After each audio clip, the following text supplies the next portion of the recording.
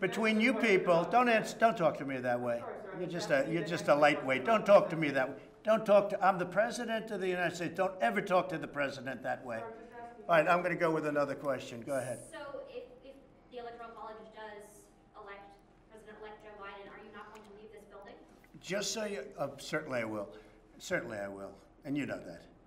But I think that there will be a lot of things happening between now and the 20th of January.